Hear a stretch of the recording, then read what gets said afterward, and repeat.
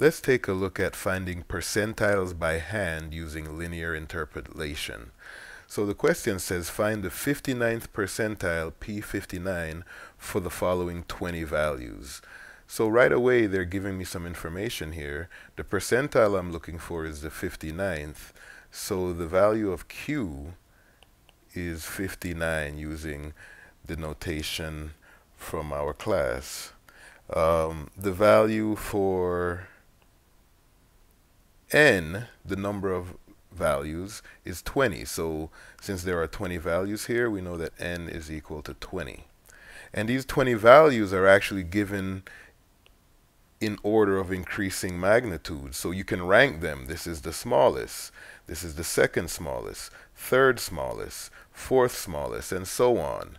When you're given data in increasing order like this, um, we have a name for that. These are called the order statistics, and they have special um, symbols used to represent them. For instance, the smallest data value with the rank of 1 because it's the smallest is 68. That's the minimum. The second smallest data value with a rank of 2 because it's the second smallest is 84 and so on. So you have the next one, the third smallest is 88 and you can take this all the way up to the largest value, which would be the 20th value, which is 702. So these would be called the order statistics because they're in order of increasing magnitude from smallest to largest. The 20th value is the largest value. Now, in order to find the 59th percentile, what we want to do is we want to find a value that separates the smallest 59% of this data from the rest of the data. So I want to value one of these order statistics, or not one of the order statistics, it might even be between two order statistics, but I want a number where 59% of all the order statistics are less than that number. That's what I'm looking for. So, in order to do that, I'm going to use this linear interpolation method. And to use that in linear interpolation method, I'm using this formula here to find a virtual um, index called i plus g.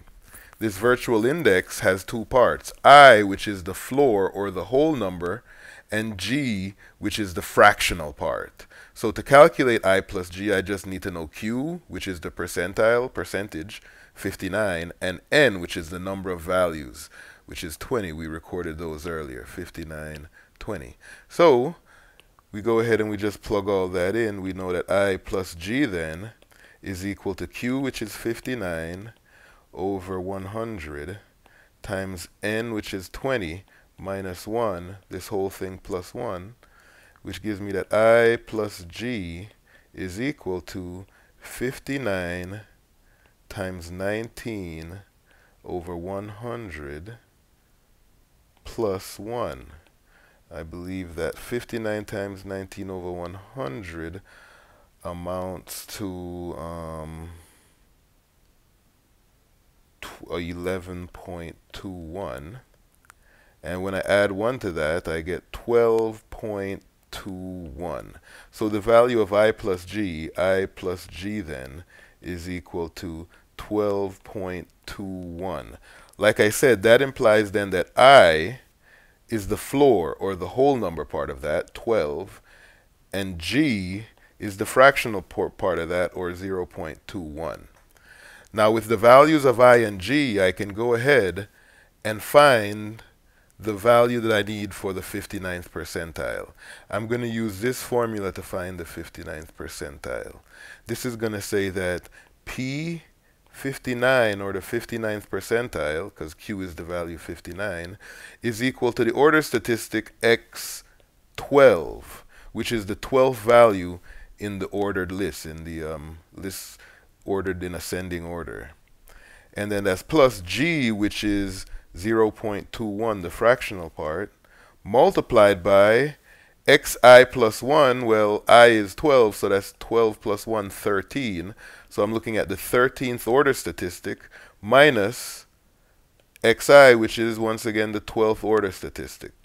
So I'm looking for this here, I just need to know what the 12th and 13th order statistic are, and I can find P59. So I just need to go into that ordered list and find the 12th and 13th number in order and plug them in here. So let's see, the 12th and 13th number. Um, we have 10, uh, 5, 10, and then that's 11, 12. So the 12th number is 268, and the 13th number is 278. So I have that x12, x12 is 268. That's the 12th number in the ordered list. And I also have that x13 is 278. That's the 13th value in the ordered list. And that's minus x12, which was 268. And then I'm just going to find P59 by doing this calculation on the right. So the 59th percentile is then equal to 268 plus 0.21 times that's equal to 10. And then 0.21 times 10, well, that's uh, 2.1. 2.1 so that I get that the 59th percentile calculated by hand using linear interpolation is 270.1 and there you have it that's how you do that by hand